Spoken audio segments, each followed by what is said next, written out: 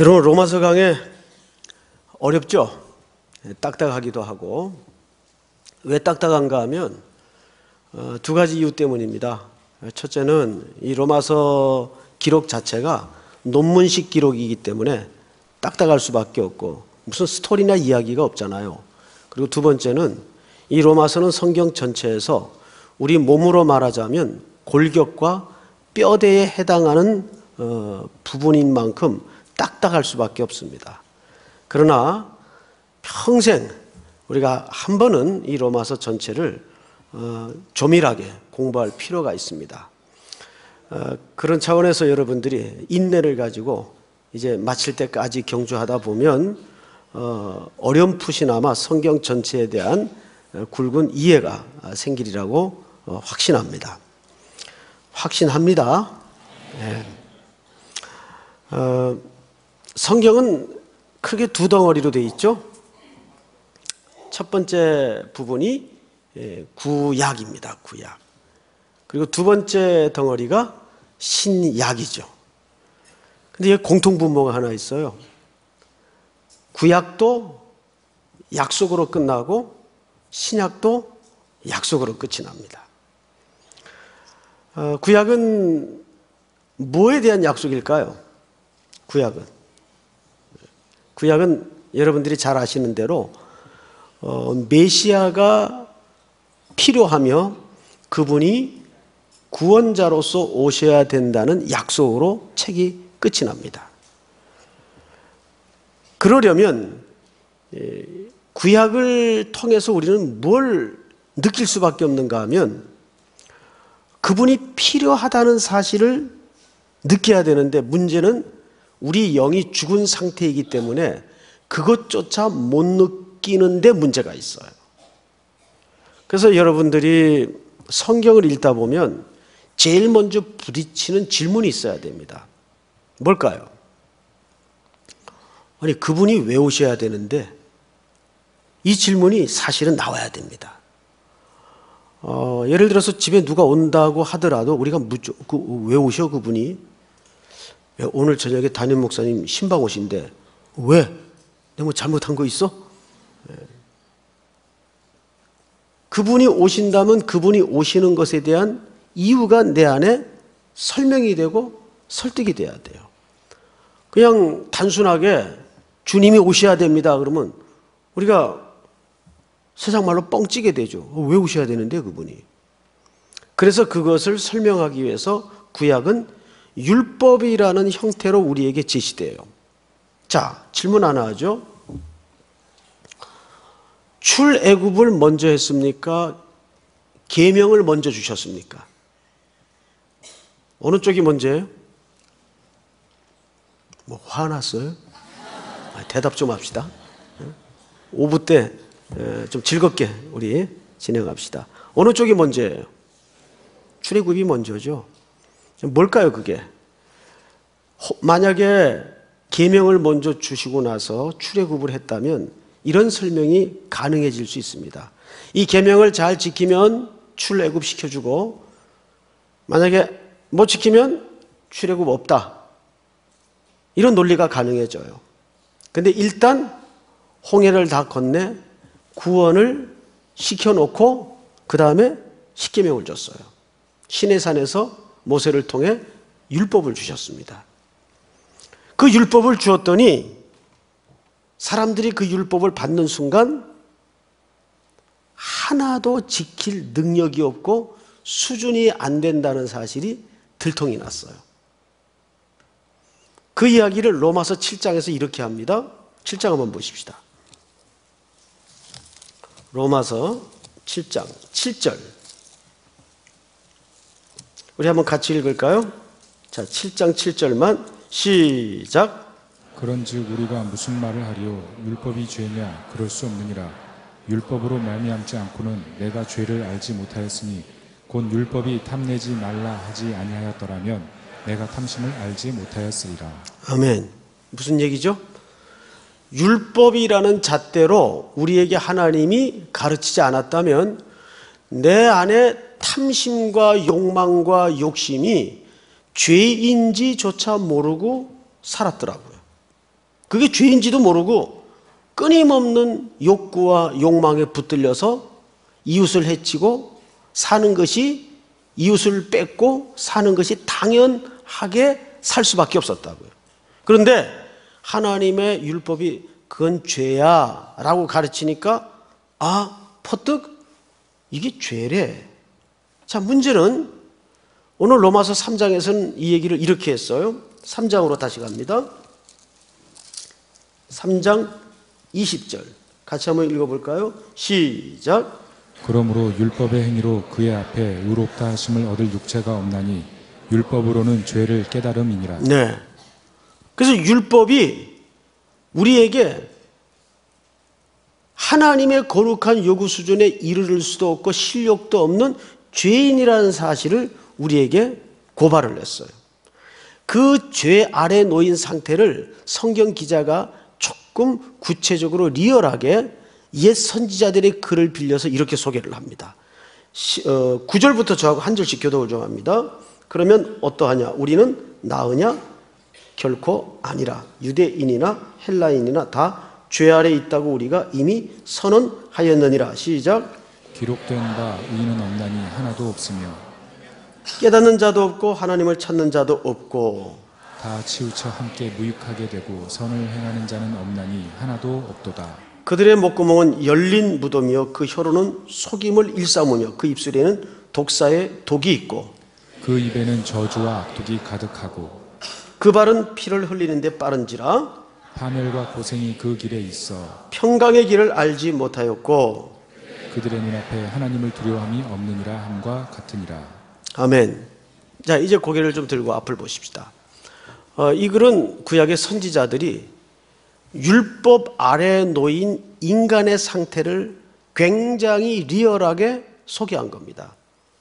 가장 처참한 표현이 너희는 열린 무덤이다.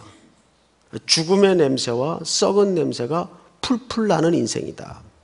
그런데 이런 소리를 들으면서도 전혀 자존심이 상하지 않는 게 너무 당연한 고발이기 때문입니다. 우리 인류의 역사를 뭐 심오하게 공부를 하지 않더라도 살아온 세월만 뒤집어서 거꾸로 가보세요. 문명은 무지무지하게 가속도를 붙여 발전을 했는데 그리고 살기도 편해지고 환경도 또 좋아지는 듯한데 인간이 개선이 되던가요? 한 번도 인간은 나아진 적이 없어요. 그래서 우리 기독교인들이 갖고 있는 시간관, 역사관은 종말론적 역사관입니다. 그러니까 이 땅은 인간의 부패와 타락으로 끝날 수밖에 없다. 이것이 우리 기독교인이 갖는 개혁주의 입장에서의 시간관, 역사관입니다. 그만큼 성경은 인간을 절망적인 존재로 보죠. 그래서 성경을 읽다가 우리는 신음처럼 토해낼 수밖에 없는 것이 뭐냐면 이런 비명입니다. 그럼 어떡하란 말이냐? 그 못된 아이들이 엄마나 아빠가 야단치면 이렇게 대들죠. 그럼 누가 나달래? 왜 나가지고 나한테 간섭이야? 냅둬!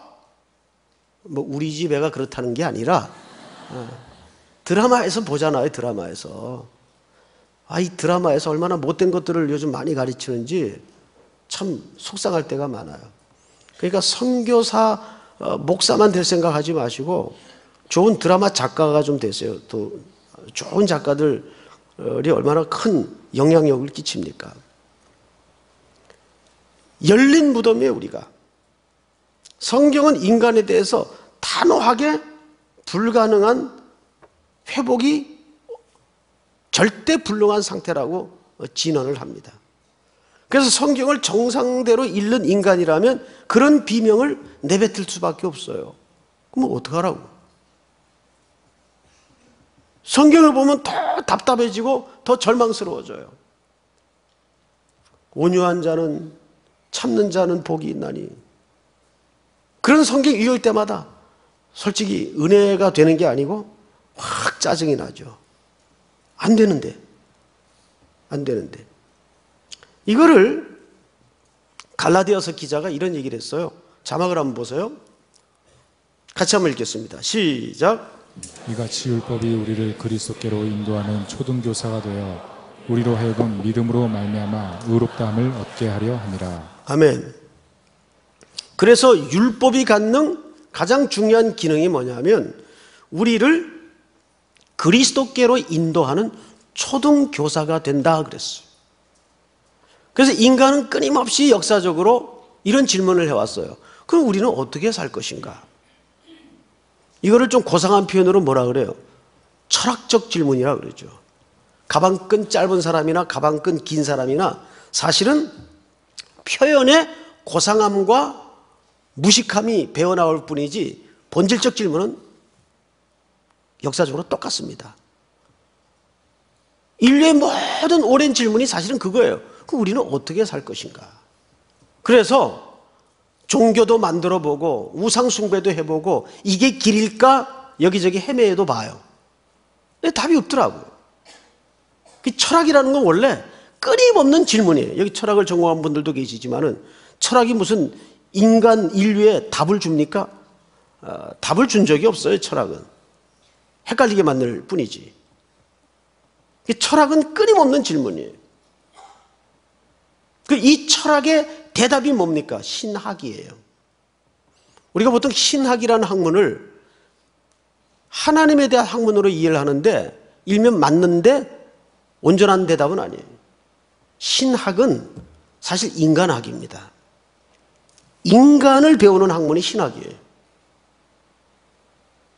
그래서 신학은 그 모든 끊임없는 역사적 철학적 질문에 답을 주는 겁니다. 오늘 성경에 그 얘기를 이렇게 소개하고 있어요. 여러분 21절을 보십시다. 21절을 같이 읽습니다. 시작. 이제는 율법 외에 하나님의 한 의가 나타났으니 율법과 선지자들에게 증거를 받은 것이라. 아멘. 이제는 율법 외에 하나님의 한 의가 나타났다. 자, 여러분, 이제 저를 보십시오. 어, 히브리 사람들이 하나님의 의라고 얘기할 때 의의 개념은 우리가 이해하는 개념하고 조금 차이가 있습니다. 어, 물론 영어 성경이나 번역 성경에는 rightness, 정의, 옳음 이런 개념으로 단어가 번역이 됐어요. 그런데 그 히브리 말에 히브리 사람들의 하나님의 의 할 때 그 자다크라는 말은 단순히 옳다라는 개념만을 설명하는 게 아니에요. 조금 더 본질적인 해석을 하자면 이런 뜻이 됩니다. 하나님의 의하면 끊어진 관계를 회복하는 모든 시도와 결말까지를 얘기합니다. 우리는 그것을 예수님의 이 땅에 오신 목적 속에서 발견하죠. 샬롬, 평화라는 얘기입니다. 평화라는 개념은 자, 싸우지 말고 살자라는 얘기가 아니에요. 끊어진 관계를 회복한다 그 뜻이에요. 그래서 이 땅에는 평화. 그 예수님이 오신 목적이에요. 하나님과 인류가 끊어진 관계를 회복하는 게 하나님의 의예요. 원래 인간은 창조될 때부터 하나님에 의해서 빚어져요. 그래서 분명한 위치 설정이 확고하죠. 하나님은 창조주로서 인간은 피조물로서 설정이 됩니다. 그리고 인간에게 무한한 자유를 줘요. 근데 그 자유는 어디에서 자유인가 하면 주 안에서의 자유래야 행복한 자유입니다. 근데 하나님만큼이나 높아지려는 잘못된 판단으로 눈이 어두워서 실수를 하고 하나님과 연결된 생명의 줄을 끊어버려요, 스스로. 그때부터 아담 안에 태어나는 인류가 많은 문제를 드러내기 시작했어요. 마치 그 누가복음에 자기 몫을 챙겨서 집을 떠난 둘째 아들 모양이 된 겁니다. 사실 자기 몫이 어디 있어요? 다 아버지 몫이지. 근데 내 거라고 아버지 시퍼렇게 살아있는데 달라 그래요. 그건 천인공로할 불효적 태도입니다. 근데 웬일인지 아버지는 순순히 내줘요. 한번 해보라고. 좋아라. 드디어 둘째 아들은 자유를 얻어요. 그런 자기 몫이라고 챙겨서 집을 떠나게 됩니다. 자, 떠나는 순간부터 무엇이 찾아오나요? 허비와 낭비와 핍절이 찾아옵니다. 마지막에는 죽음의 자리까지 나락으로 떨어지게 되죠. 거기서 인간의 본래의 의식이 회복이 돼요. 아버지 집을 생각해내죠. 내 아버지 집에는 모든 것이 있는데, 그리고 돌아갈 마음을 일으킵니다. 이게 인류의 전 과정을 하나의 에피소드로 설명을 하는 거죠. 여기서 하나님의 의라는 것은 다시 말해서 관계가 끊어진 인류에게 하나님이 일방적으로 관계를 회복하기 위해서 찾아오시는 모든 시도와 완성까지를 얘기하는 겁니다. 하나님의 한 의가 나타나서 이제 율법으로는 인간이 그리스도가 필요하다는 사실밖에는 그리고 철저히 죄인이라는 사실밖에는 드러난 게 없어요. 그래서 하나님의 한 의가 나타납니다. 하나님의 의지가 역사 속에 드러냅니다. 근데 문제는 상대방, 계약자인, 언약의 체결자인 상대방이 계약을 할 의지도 없고 이 계약의 내용이 뭔지도 잘 몰라요. 그래서 구약의 모든 계약과 언약은 하나님이 일방적으로 홀로 하시는 계약이에요. 그걸 베리트라고 하죠. 원래 계약은 쌍방간에 하는 건데 구약의 모든 하나님과의 계약은 그래서 일방적인 계약이에요. 그리고 그 계약의 내용을 설명하고 설득에 들어가죠.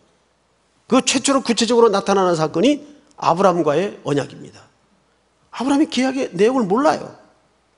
그래서 자꾸 어기죠. 계약을 깨죠. 그러니까 하다 하다 안 되니까 죽여서 새로 만들죠.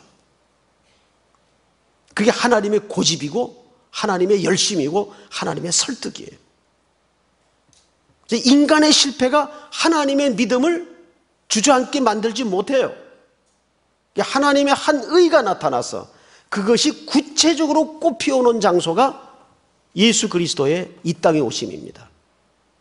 그분이 속죄 제물로 이 땅에 오시는 거예요.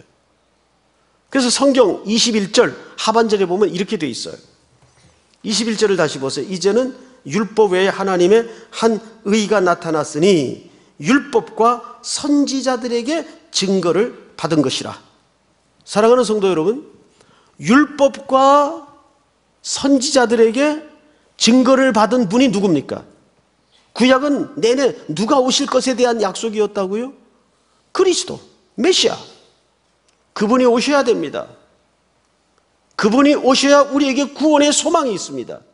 그래서 구약의 모든 성도들도 사실은 그리스도를 통해서 구원을 받는 거예요. 오실 그리스도를 믿음으로 구원을 받는 거예요. 구약의 모든 설명이 선지자들의 모든 증거가 그분에 대한 증거예요. 그렇게 그분은 역사 속에 실체로 오시는 겁니다. 그리고 구약의 약속은 완성이 되죠. 신약은 구약의 완성이에요. 근데 문제는 뭐냐면 아직도 신약, 약속이란 말이에요. 그러면 이 약속은 무엇에 대한 약속이겠는가 그 말이죠. 예수님 오셨는데 뭘 또 약속을 해요? 완성되었는데 구약의 약속이 완성되었는데 신약은 뭘 또 약속할까요? 다시 오실 예수님에 대한 약속이에요. 그래서 차원이 둘 다 그리스도에 대한 이야기지만 구약은 처음 오시는 메시아에 대한 약속. 신약은 다시 오실 우리의 신랑에 대한 약속이에요. 그렇게 예수님은 십자가에 오셔서 죽으셨어요. 요한복음 3장 16절에 보면 유명한 구절이 있죠? 근데 성경에 보통 유명한 구절이 굉장히 위험하다는 사실을 알아야 됩니다. 하나님이 세상을 이처럼 사랑하사 독생자를 주셨으니 이는 저를 믿는 자마다 멸망치 않고 영생을 얻게 하려 하심이라. 이 유명한 구절 때문에 그 앞에 어떤 사건이 있었는지조차 청중들은 보려하지 않아요. 그래서 우리는 일부러 이 대목을 한번 확인해 볼 필요가 있습니다. 요한복음 3장 14절을 한번 보세요. 로마서를 좀 잠깐 접어 두시고 3장 14절 우리 14절 한 절만 같이 읽겠습니다. 시작. 모세가 광야에서 뱀을 든 것 같이 인자도 들려야 하리니 이는 그를 믿는 자마다 영생을 얻게 하려 하심이니라 다 같이 하나님이 세상을 이처럼 사랑하사 독생자를 주셨으니 이는 그를 믿는 자마다 멸망치 않고 영생을 얻게 하려 하심이라. 자, 이 위대한 성경 구절이 두드러지기까지 그 앞에 어떤 사건이 전제되어 있었나요? 모세가 광야에서 뱀을 든 것 같이 인자도 들려야 하리라. 광야를 지나는 동안에 이스라엘 백성들이 하나님을 향하여 거역하죠. 그래서 불뱀이 나와서 모든 백성들을 죽이기 시작합니다. 뱀에 물린 자마다 다 죽어요. 독이 퍼져서. 이때 모세의 중재로 하나님이 구원의 방식을 하나 만듭니다. 모세야, 높은 장대 끝에다가 노수로 뱀을 만들어서 달아라. 그리고 백성들로 하여금 어디서든지 그것을 쳐다볼 수 있도록 높이 들어라. 그리고 그것을 바라보는 자마다 구원을 얻을 것이다. 이것을 속히 선포하도록 하라. 그래서 노뱀을 만들어 장대 끝에 높이 달아 올리니까 어디서든지 그 장대 끝에 달린 뱀을 볼 수 있도록 올립니다. 근데 문, 문제는 그것마저도 보지 않고 죽어간 사람들이 있었어요. 오늘 여기 장대 끝에 높이 달린 노뱀의 형상은 누굴 가리킵니까? 오셔서 인간의 모든 죄와 저주를 뒤집어 쓰고 죽어가시는 예수님의 고난과 십자가의 사건을 가리키는 거예요. 하나님이 세상을 이처럼 사랑하사 독생자를 주셨으니 이는 그를 믿는 자마다 멸망치 않고 영생을 얻게 하려 하심이니라. 그렇게 예수님은 이 땅에 오셔서 우리의 구속을 완성하시고 죽으셨습니다. 그리고 그분은 부활하시고 승천하시면서 우리에게 약속 하나를 다시 남깁니다. 약속을 갱신하는 거죠. 너희들이 본 모습 그대로 인자는 구름을 타고 다시 오리라. 다시 오실 것을 약속했어요. 그래서 왜 신약이 아직도 약속인가 하면 다시 오실 우리의 신랑에 대한 기록이기 때문입니다. 그래서 모든 성도들의 타임 스케줄은 사실상 다시 오실 신랑의 모든 포커스와 가치관이 맞춰져 있어야 돼요. 시간표가. 믿습니까? 자, 그런데 문제는 뭐냐면 그 신랑이 오시는 날을 알지 못하고 언제인지 알지 못하고 너무 멀고 길고 험하다는 거예요. 그 시간에 이르기까지.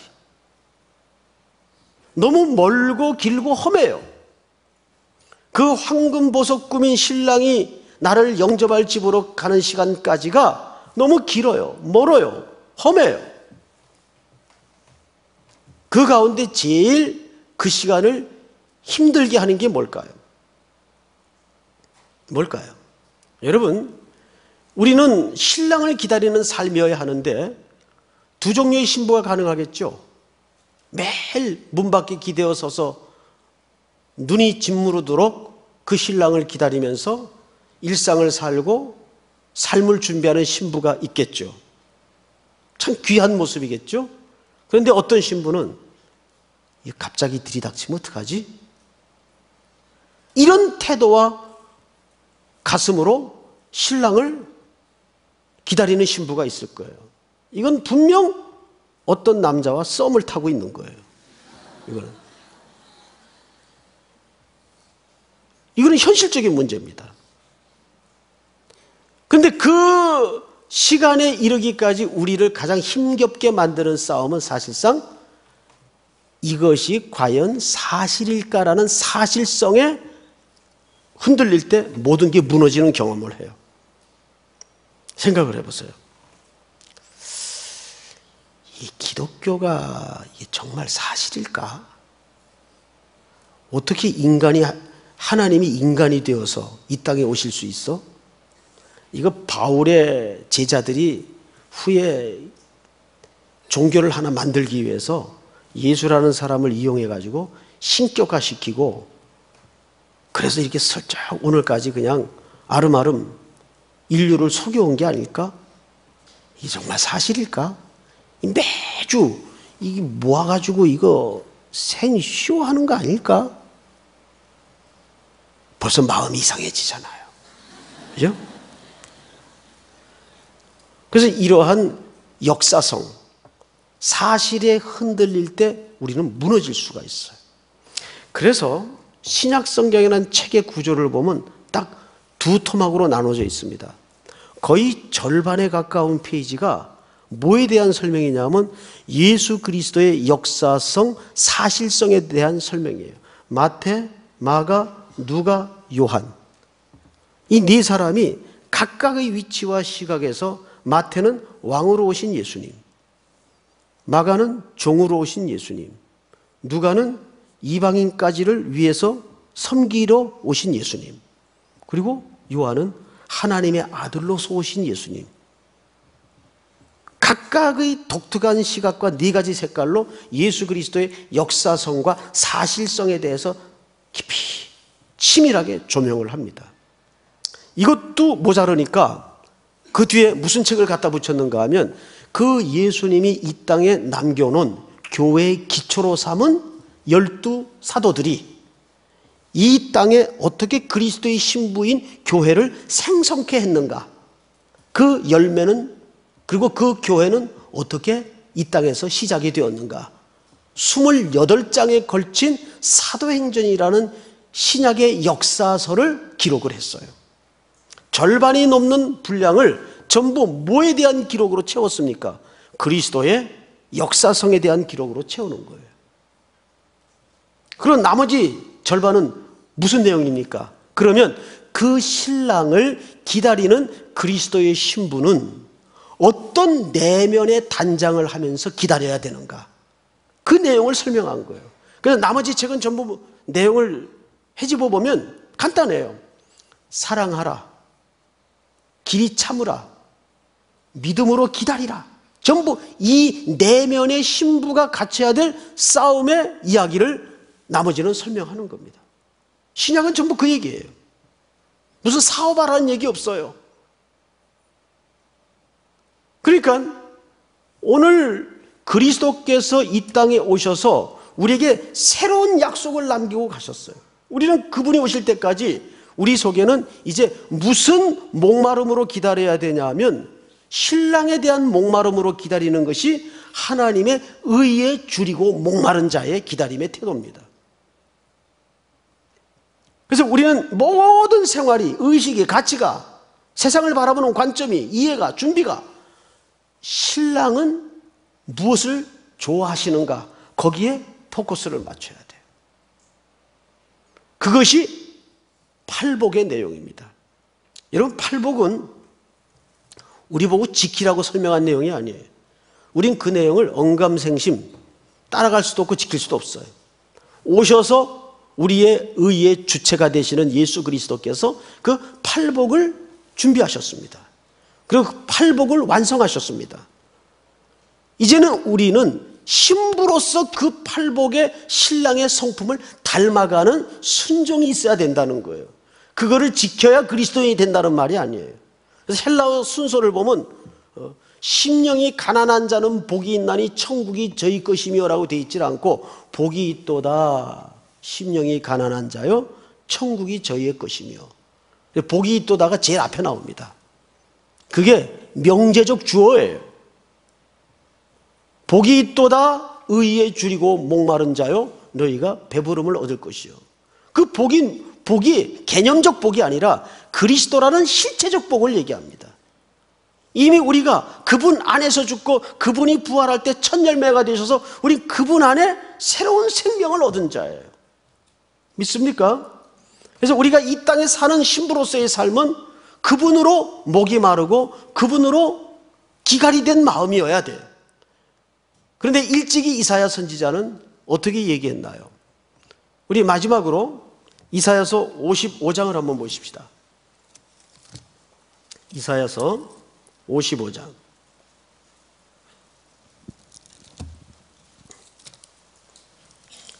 1절서부터 저하고 교독을 합니다. 55장. 오호라 너희 모든 목마른 자들아 물러 나오라. 돈 없는 자도 오라. 너희는 와서 사 먹되 돈 없이 값 없이 와서 포도주와 젖을 사라.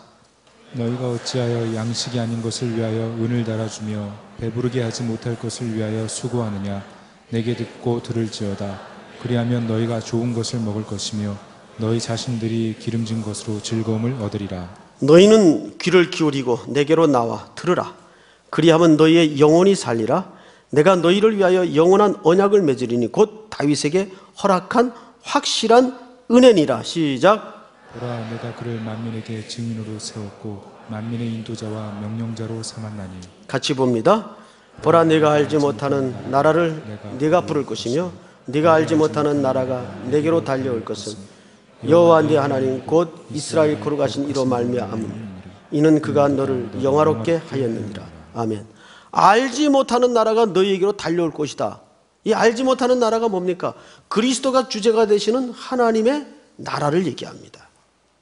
이미 하나님의 나라는 우리에게 임해 있어요. 이제는 우리는 그 나라의 백성으로서 그 나라에 대한 필요의 목마름을 가지고 살아야 돼요.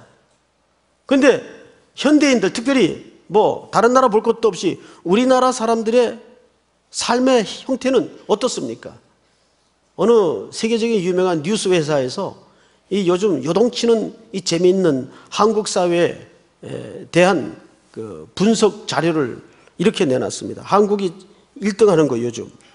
열 가지를 꼽았는데 뭐 들어보세요 그냥 참고로 이건 절대 외울 필요가 없어요 첫 번째 신용카드 보통 일반 국가에서는 100, 그 국민들의 한 90% 정도가 신용카드를 갖고 있다 그래요 그러니까 한 사람 뭐 두 명, 두 개씩, 세 개씩 갖고 있는 사람도 있겠죠? 어쨌든 퍼센트지를 하면은 90%. 근데 한국은 120%가 넘는데요. 근데 이것도 옛날 통계 같아요. 120%가 훨씬 넘죠. 한 사람 앞에 카드가 보통 석 장, 넉 장씩 있습니다. 이게 사실은 그 허영을 일면 들추어내는 치부죠. 두 번째가 기술 문화, 기술 문화.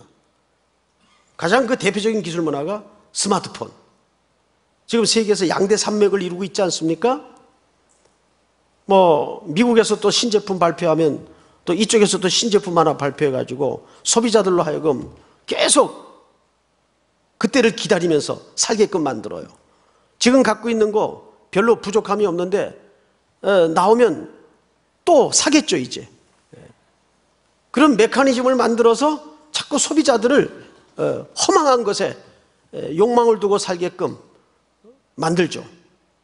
그 기술 문화, 자본주의 메커니즘의 그 허구입니다. 세 번째, 성형 기술, 성형. 뭐 세계 최고랍니다. 또 이 찹스틱 문화기 때문에 젓가락 문화기 때문에 손 기술이 장난이 아니에요, 우리나라 사람들이. 그래서 미국에서 천 원들 수술비를 한국에 오면은 200원밖에 들지 않는다는 거예요. 그러니까 계속 원정대가 날라오는 거예요. 뭐 특별히 중국 같은 데서는 요즘 뭐 이제 달러가 넘치니까 아주 단체로 와서 성형을 하고 가고. 그래서 북경 같은 데 이미 얼굴들이 다 점점점 이제 똑같아진대요. 여기 와서 찍어가니까. 판에서 찍, 찍듯이. 우리나라는 이미 그런 현상이 나타나 있고. 그 다음에 네 번째가 일중독. 일중독. 한국 사회가 좀 일중독 사회에 있죠. 뭔가 칼퇴근하면 이거 거의 잘리는 분위기고 찍히는 분위기고 무능한 직원 이런 분위기가 돼 있단 말이에요.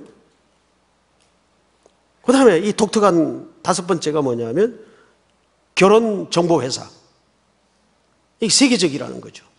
외국에도 이런 유사한 기관들이 있긴 합니다만은 우리나라처럼 뭐 2,500개씩 결혼 회사가 있어서 그러니까 이것은 현재 이 땅의 젊은이들의 세태를 그대로 반영해주는 하나의 그 부작용이죠. 그 다음에 여섯 번째가 스타크래프트. 이 게임이죠. 이 스타크래프트를 워낙 잘하는 민족이기 때문에 이걸로 직업이 지금 생기기 시작한대, 직업이. 우리 교육자분들 가운데도 여기 아주 일각에 있는 분들이 좀 한두 분 계세요. 그 다음에 항공 승무원. 비행기 타보세요.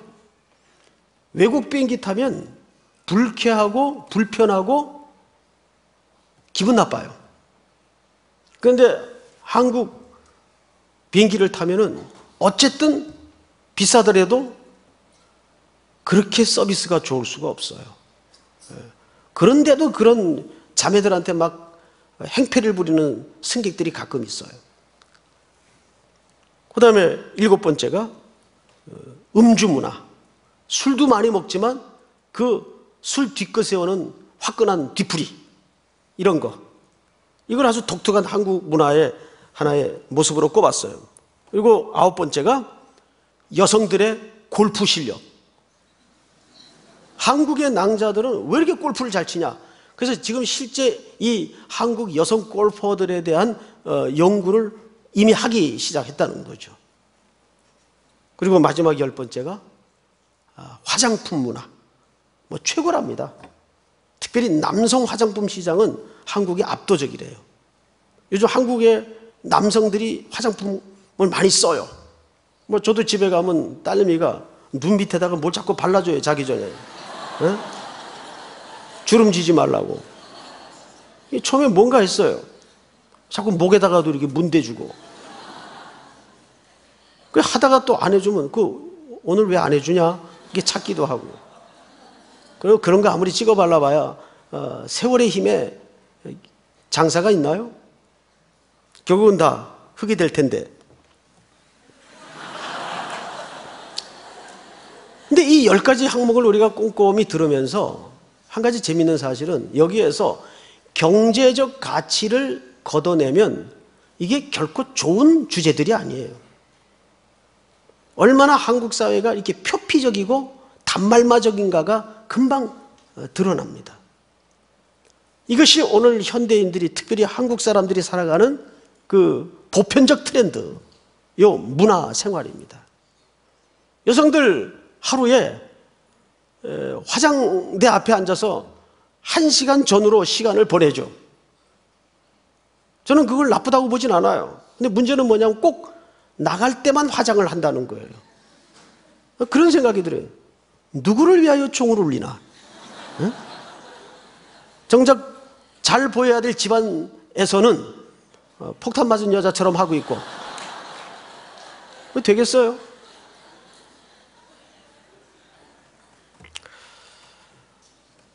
신랑을 기다리는 싸움은 주님이 일관되게 내면의 싸움을 설명합니다.